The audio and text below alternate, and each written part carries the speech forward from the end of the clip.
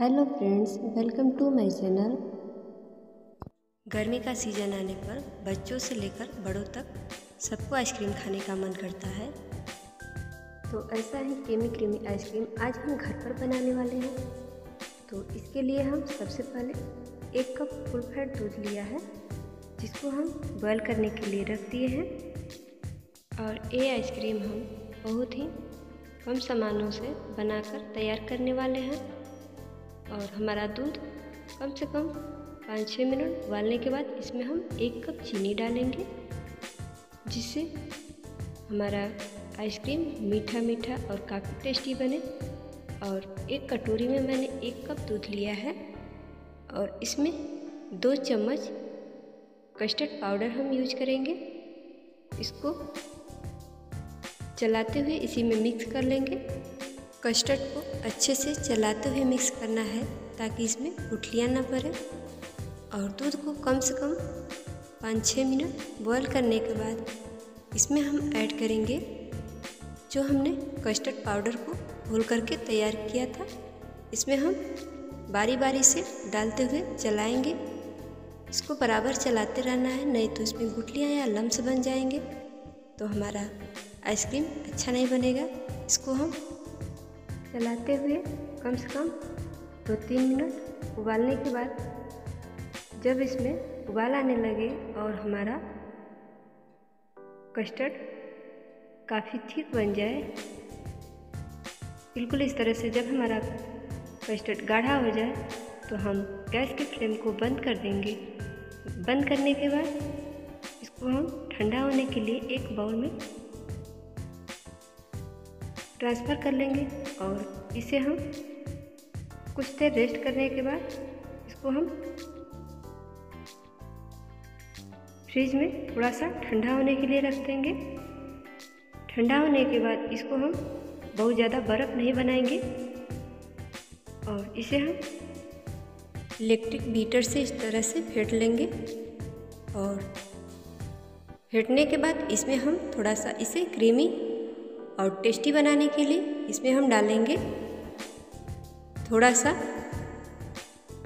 घर की मलाई है, जो हम इसमें ऐड करेंगे, जिससे कि हमारा आइसक्रीम काफ़ी टेस्टी बनेगा। कम से कम हम इसमें तीन चार चम्मच मलाई यूज़ करेंगे। आप चाहें तो विप्ड क्रीम भी यूज़ कर सकते हैं, जिससे कि हमारा आइसक्रीम काफ़ी टेस्टी और ठीक बनकर तैयार होगा। इसके लिए हम बीटर का प्रयोग करेंगे। आप चाहें तो मिक्सर का जार भी यूज़ कर सकते हैं। आप इसे मिक्सर के जार में डाल करके इसको चलाते हुए कम से कम दो तीन बार फेंट लें और देखिए हमारा कितना अच्छा कस्टर्ड फ्लफ़ी बनकर तैयार हो गया है। कम से कम बीटर से पाँच छः मिनट फेंटने के बाद हमारा आइसक्रीम रेडी हो गया है। अब इसको हम थोड़ा सा गार्निश करेंगे। गार्निश करने के लिए हम इसमें थोड़ा सा गुलाब की पंखुड़ियों का यूज़ करेंगे, जो देखने और खाने में काफ़ी टेस्टी लगता है। इस गुलाब की पंखुड़ियों को हम इसमें छोटे छोटे टुकड़े करके इस तरह से मिक्स कर देंगे। एक चम्मच की सहायता से इसको मिक्स करने के बाद हम एक इस तरह का कोई भी बर्तन लेंगे। इसमें हम ट्रांसफ़र कर देंगे आइसक्रीम को।